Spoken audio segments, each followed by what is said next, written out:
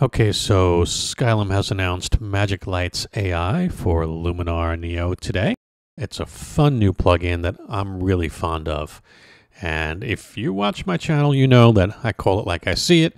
If I'm not thrilled with a plugin, I, uh, I certainly make it known. But but this is one that, that's just a fun plugin. I'm really happy that they've released it. It's been something that has been missing from plugin makers for quite a while. Topaz used to have something very similar uh, several years ago, but they dropped it, and there's really been nothing in that gap since.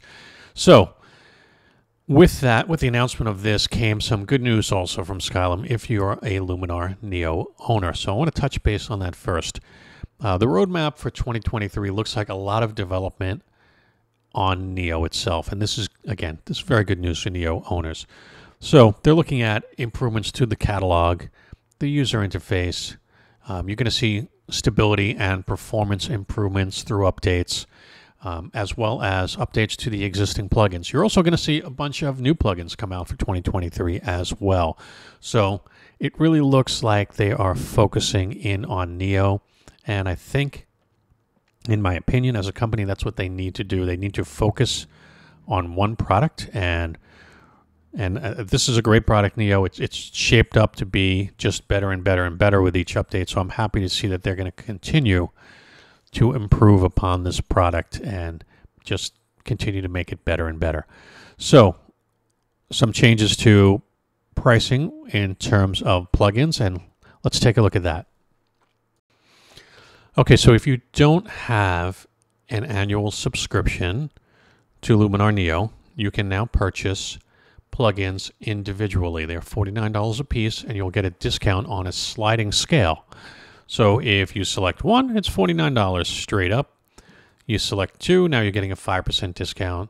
And you see how that continues to slide up the scale there until you have a 20% discount and beyond. Okay, now you're going to notice that the extension pack is 269, but individually they're 235. Now there's a reason for that. That's because I am making this video before the final plugin has been released. So I do have a copy of Magic Light AI so I can make this video so it's ready at the same time that it's released so you can see what it does. That being said, once that gets added in here, the prices would then work out so that the extension pack is a better deal. But as of right now, you can see that actually doesn't happen. Um, and again, that's because we're missing one plugin at the time of the making of this video. So that's the reason for that. So Skylum's also added the ability for people like me to give you an additional coupon code. Now you can only use one coupon code and you're going to have to figure out which one works better for you. So there's now a 10% off coupon code and that's going to be Shutterspeak 10, all one word, all connected there, Shutterspeak 10. That's going to give you 10% off. Uh, the old code Shutterspeak is still also a good one, and that gives you $10 off. So there may be times when using the 10% off, is more beneficial. Like in this case, if it was 235.20, using Shutterspeak 10 would give you 10% off, and that's going to be more than $10. That's going to be $23.52. So that's a better discount.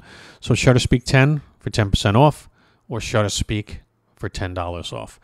Okay, so that's something new, and that's going to save you a little bit of money. I'm going to also include those codes in the video description for you as well. Okay, so the new plugin, as I mentioned, is Magic Lights AI. Basically, it's uh, a plugin that creates star effects on light sources within your image, but it's using AI, so it's doing it very intelligently. And it's a lot of fun, this plugin. Actually, I really like it. There used to be a plugin called Topaz Star Effects that I really loved. Uh, Topaz dropped that plugin quite a while back.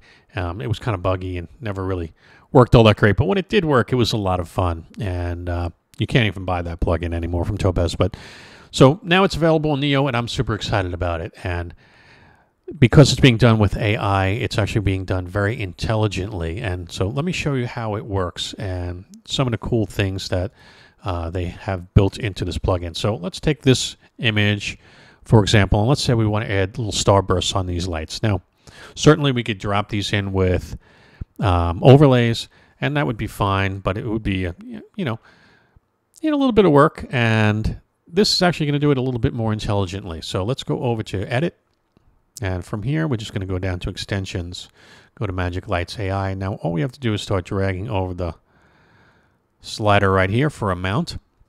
And you see all those bursts of light. I'm going to go all the way up just so you can see what it's doing there. And obviously, I'm going to now just dial it back to something like around there. That looks nice.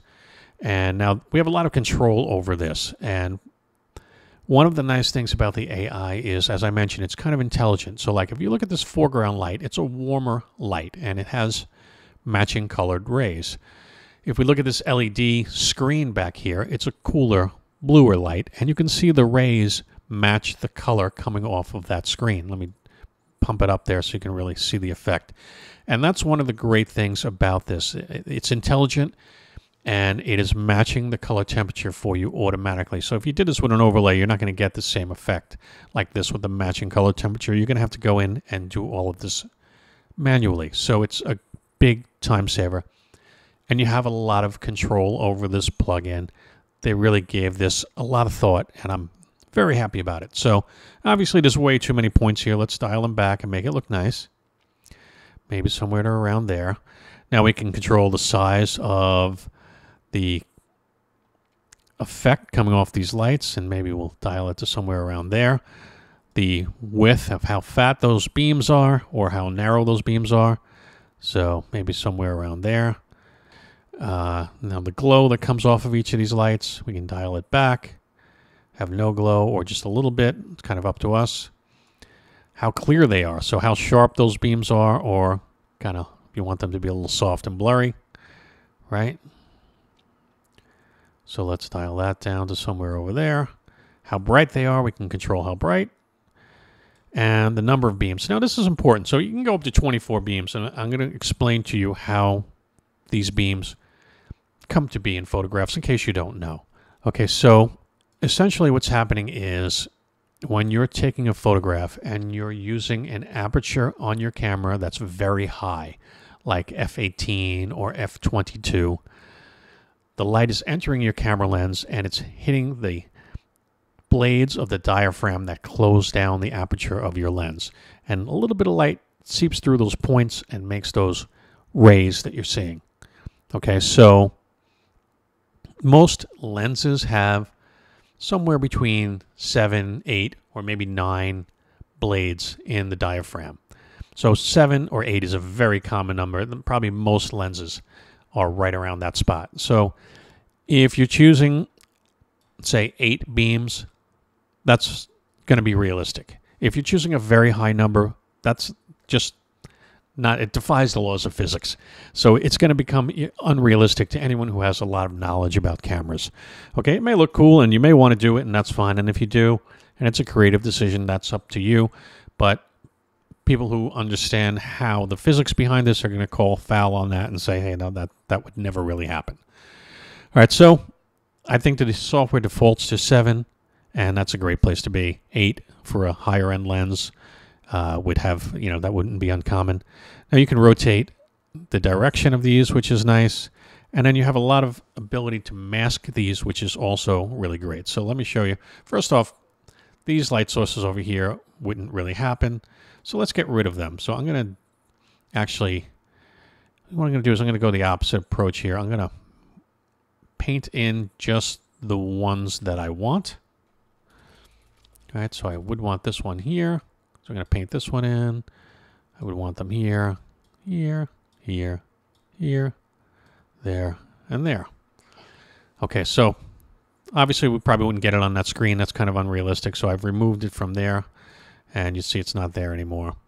And now, here's the nice thing that, that we can do with this now. We, we have control over this.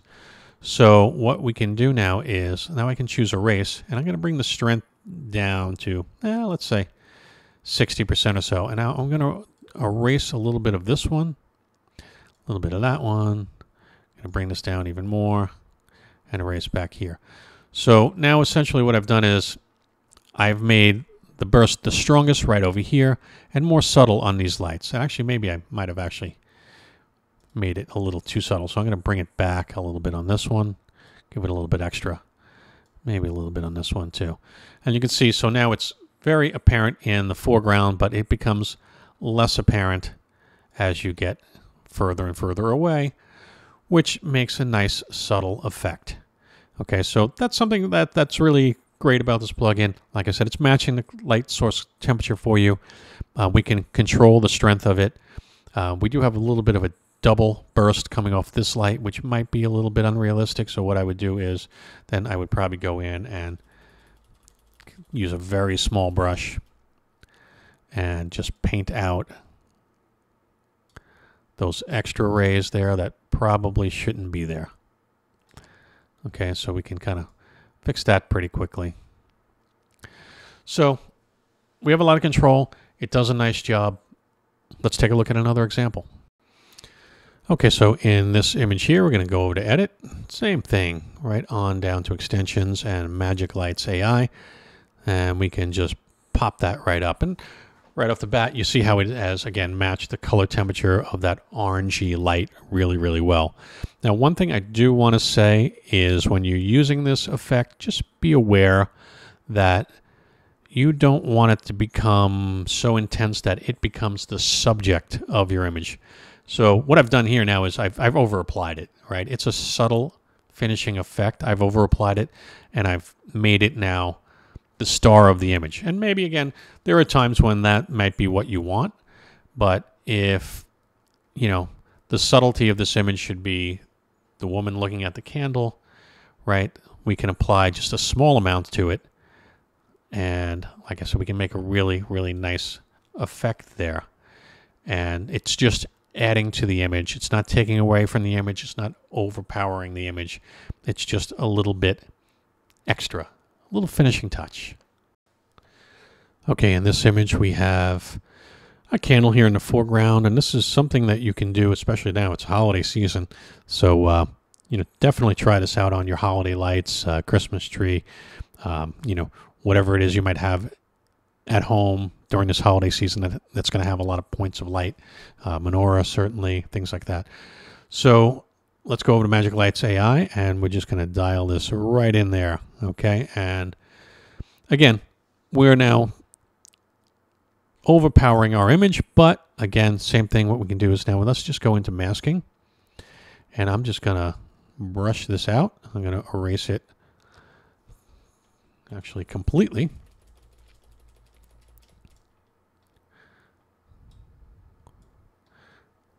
from these candles. I'm going to try to erase it completely anyway.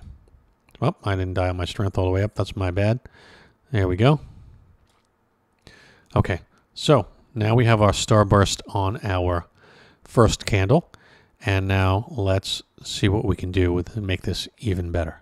Right, so what I'm going to do now is I'm going to come back into the tool and I'm going to apply the tool again. Okay, so I'm going to go back into Ma Magic Lights and I'm going to bring it back up again. And now this time what I'm going to do is I'm going to take my beam width and just throw a little blur in there, make them a little fatter, make them a little wider so they look a little blurrier. I'm going to bring the size of them back a little bit because they're in the background there and they should be distorted and maybe a little bit blurred and um, you know, we'll give a little bit more extra glow to them in the background there maybe. And now what I'm going to do is just go back to masking take my brush, I'm going to erase it from the foreground effect right there. So it's only on the background. And now essentially what I've done is I have made a nice clear effect in the foreground and a softer, blurrier effect in the background. And if it's too much, I can even dial this one back a little bit. So that's even a little softer back there. Maybe this one too, maybe a little bit softer. And like I said, it's just a little kiss of a finishing touch. So Nice job here with the masking and being able to uh, layer this effect on top of itself over and over to create just the exact look that you're looking for.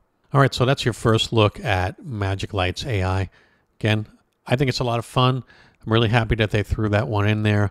You know, sometimes it's nice to have a little bit of fun with your photography. It keeps things fresh, and uh, this is going to be probably the easiest way you're going to be able to add starbursts to your images, bar none color matching, full control over size, orientation, um, you know, the number of beams, the width of the beams, the glow. So home run on the part of Skylum with this one. I think they did a great job. Hey, thanks for watching YouTube. I appreciate you. If anything in this video has helped you out, please help me out by hitting like, subscribe, and of course ring the bell so you get notified of future updates. I appreciate you, and as always, very nice to see your smiling face again here on YouTube. Bye bye.